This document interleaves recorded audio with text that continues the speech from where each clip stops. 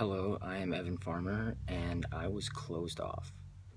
Um, I remember in high school being a very angry person for no reason in particular, and um, being very quick tempered, and never really feeling loved, even though I was by uh, many different people and in a lot of different ways.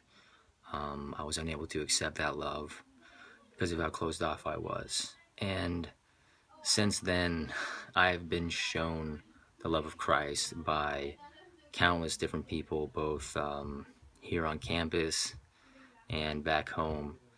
And um, it's really changed my perspective. And I'm not only now able to um, show the love of Christ to others, but I'm able to also accept that in my own life. And that's been huge for me um, in controlling my anger and opening up to people. And yeah, that's how my perspective has changed.